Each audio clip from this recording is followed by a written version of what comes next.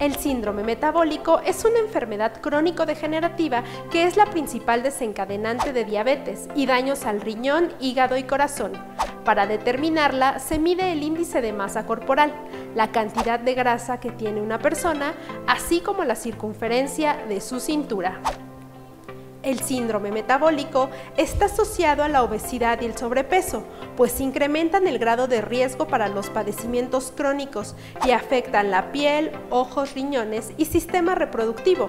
Además causa resistencia a la insulina y alteraciones cognitivas y procesos degenerativos como la demencia y el Alzheimer.